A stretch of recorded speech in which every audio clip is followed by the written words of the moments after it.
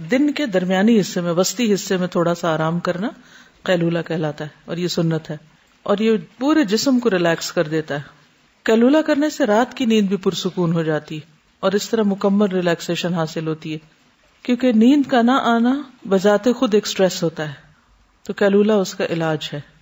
कैलूला का मतलब ज़रूरी तौर पर सोना नहीं, कि उसमें नींद ही आए, क्योंकि बाज लोगों को पंद्रह मिनट में नींद नहीं भी आती।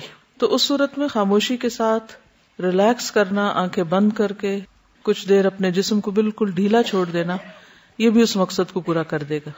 क्योंकि बाज लोग हो सकता है कहें कि हमें इतनी देर में ना नींद आती है और ना ही हमें कुछ फ़ायदा, नहीं, ज़रूर फ़ायदा होता है।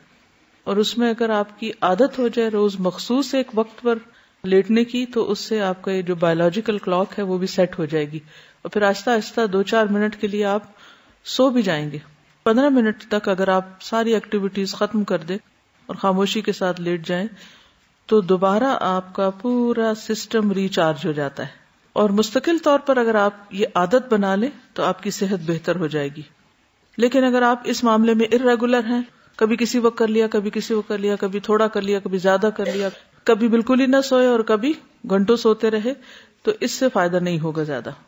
तो मुख्तसर वक्त के लिए रोज़ाना करें। ये नहीं कि छुट्टी के दिन दो तीन घंटे सो गए। अब उसका नुकसान क्या होता है फिर? अगले दिन इंसान वक्त पे नहीं उठता।